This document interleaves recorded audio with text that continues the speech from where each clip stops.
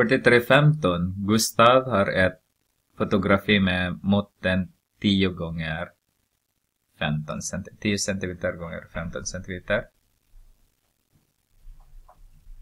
Jag skriver det. Som han vill förstora. Han lägger det i en kopieringsapparat och trycker på 140 procent. Vilka mått får förstoringen? Okej. Okay. Så har vi A. Så om vi har 10 från början. Så har vi 10 där. 15 där. Om man, om man förstorar båda med 40 procent, alltså 140, betyder att man förstorar 40 procent, så har vi, Eh, blir det här plus 15, 3, 6, då blir det 21 centimeter. Och det här blir eh, 14 centimeter.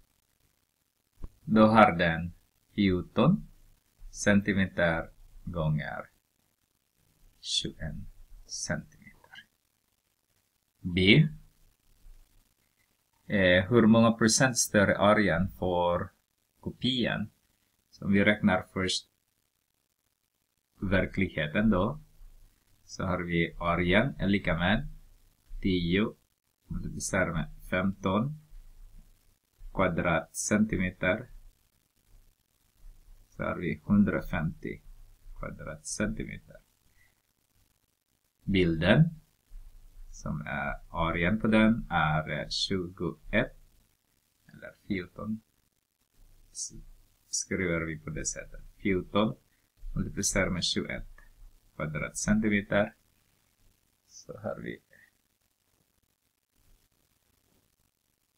14 multiplicerar med 21 så får vi 294 kvadratcentimeter. Så hur många procent större är det nu? Så får vi, tar ni skillnaden om ni vill. Men jag skriver på två olika sätt. Metod 1 säger jag här. Så tar jag 294 subtraherar med 150 dividerat med eh, hur många procent större arean vi jämfört med med det mindre så har vi 150 så har vi 294 subtraherar med 150 dividerar med 150 så får vi 0,96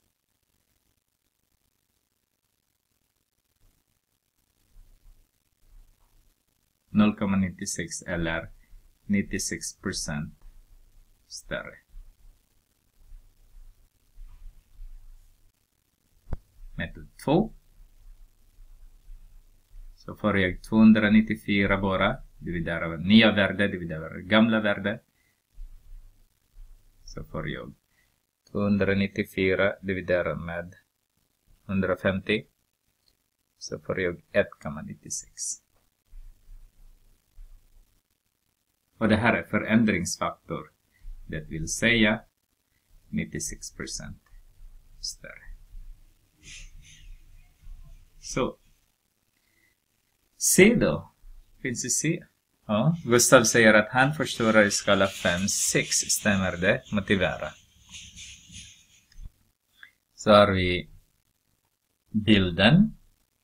Och har vi verkligheten. För jag antar att uh, de har skrivit fel här.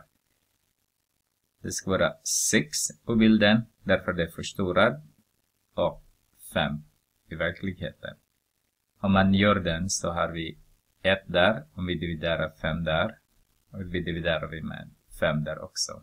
Det är 1,2. Ser vi att det är förstorat bara i 20% Men det var inte det, det är 40%. Det skulle vara så här.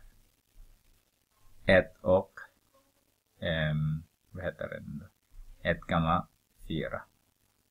Så.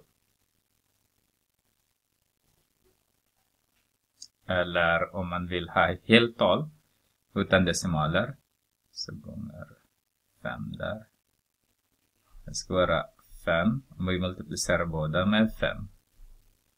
5 där och sen 20. 7. Så. Det ska vara 7 till 5. Inte 6 till 5. 7 till 5 ska det vara.